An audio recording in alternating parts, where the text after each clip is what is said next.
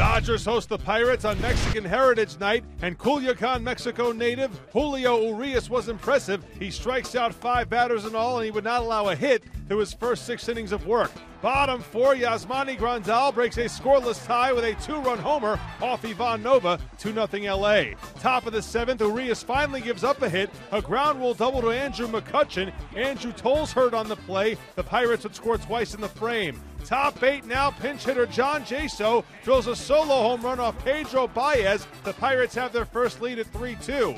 Bottom nine, there are two on and one down for Cody Bellinger, and the rookie delivers a game tying RBI single off Tony Watson. We're knotted at three, and we would have extras. Bottom 10, pinch hitter Austin Barnes goes into right center off Daniel Hudson for a game winning RBI double. The Dodgers win 4 3. Julio Urias goes a career high six and one third in a no decision. Pittsburgh's Max Moroff gets his first major league hit in defeat. On Wednesday, Kenta Maeda will start for LA and Chad Kuhl goes for Pittsburgh.